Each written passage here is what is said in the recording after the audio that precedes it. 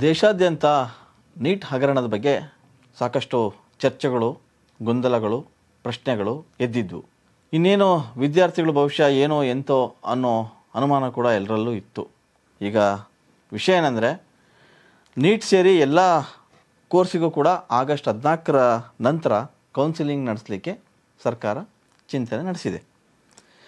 Neat ಕೌನ್ಸಿಲಿಂಗ್ವರೆಗೆ ಕಾಯಿದೆ, ವೈದ್ಯಕೀಯೇತರ ಕೋರ್ಸ್ಗಳ ಪ್ರವೇಶಕ್ಕೆ ಕೌನ್ಸಿಲಿಂಗ್ ನಡೆಸುವ ಚಿಂತನೆಯಲ್ಲಿದ್ದಂತಹ ಸರ್ಕಾರ, ಈಗ ರಾಜ್ಯ ಸರ್ಕಾರ ಈಗ ಎಲ್ಲ ಕೋರ್ಸ್ಗಳಿಗೂ ಕೂಡ ಆಗಸ್ಟ್ ಹದಿನಾಲ್ಕರ ನಂತರ ಕೌನ್ಸಿಲಿಂಗ್ ನಡೆಸಬೇಕು ಒಟ್ಟಿಗೆ ಅಂಥೇಳಿ ತೀರ್ಮಾನ ನಡೆಸಿದೆ.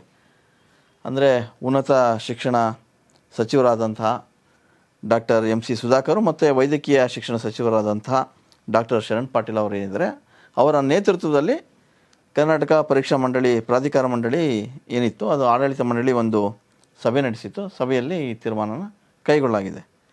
ವಿಶೇಷ ಈ ಮೊದಲು ಇಂಜಿನಿಯರಿಂಗು ಕೃಷಿ ವಿಜ್ಞಾನ, ಪಶುವೈದ್ಯಕೀಯ ಸೇರಿದಂತೆ ಆಮೇಲೆ ವೈದ್ಯಕೀಯ ಕೋರ್ಸ್ಗಳನ್ನು ಬಿಟ್ಟರೆ ಇತರೆ ಎಲ್ಲ ಕೋರ್ಸ್ಗಳ ಪ್ರವೇಶಕ್ಕೆ ಮೊದಲು ಕೌನ್ಸಿಲಿಂಗ್ ನಡೆಸೋಕ್ಕೆ ಚಿಂತನೆ ನಡೆಸಿತ್ತು.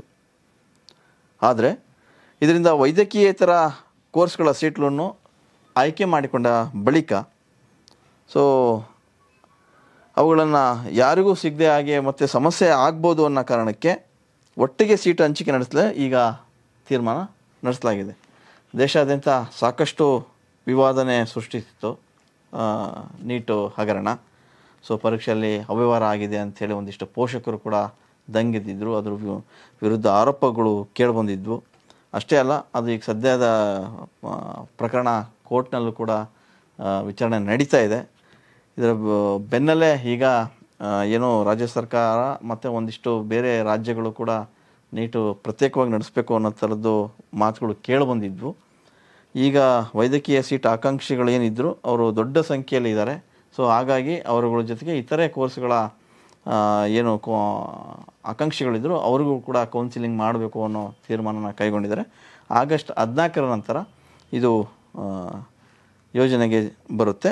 ಅಷ್ಟೇ ಅಲ್ಲ ಏನು ನೀಟ್ ವಿರುದ್ಧ ಒಂದಿಷ್ಟು ಹಿಂದೆ ಧ್ವನಿಗಳು ಕೇಳಿಬರ್ತಾಯಿದ್ವು ಆರೋಪಗಳು ಕೇಳಿಬರ್ತಿದ್ವು ಖಾಸಗಿ ವೈದ್ಯಕೀಯ ಕಾಲೇಜುಗಳು ಮತ್ತು ಅದರ ಮಾಲೀಕರು ಏನಿದ್ದಾರೆ, ರಾಜಕಾರಣಿಗಳು ಅವರ ಲಾಬಿ ಕೂಡ ಇದರಲ್ಲಿ ಇದೆ ಅನ್ನೋ ಮಾತುಗಳು ಕೇಳಿಬರ್ತಾಯಿದ್ವು ಸೊ ಆ ನಿಟ್ಟಿನಲ್ಲಿ ಈಗಲೂ ಕೂಡ ಒಂದಿಷ್ಟು ಪೋಷಕರು ಅವ್ರ ವಿರುದ್ಧ ಮಾತಾಡ್ತಾನೆ ಇದ್ದಾರೆ. ಆದರೂ ಕೂಡ ಇದು ವಿದ್ಯಾರ್ಥಿಗಳ ಭವಿಷ್ಯ. ಹಾಗಾಗಿ ಸರ್ಕಾರ ಬೇರೆ ರೀತಿಯ ಚಿಂತನೆ ನಡೆಸಬೇಕಾದಂಥ ಇದಿದೆ ಅಂಥೇಳಿ ಕೋರ್ಟ್ ಕೂಡ ಹೇಳಿತ್ತು. ಈಗ ಸದ್ಯಕ್ಕೆ ಹದಿನಾಲ್ಕರ ನಂತರ ಎಲ್ಲ ಕೋರ್ಸ್ಗಳ ವಿಚಾರವಾಗಿ ಕೌನ್ಸಿಲಿಂಗ್ ನಡೆಸೋದಕ್ಕೆ ಸರ್ಕಾರ ಚಿಂತನೆ ನಡೆಸಿದೆ.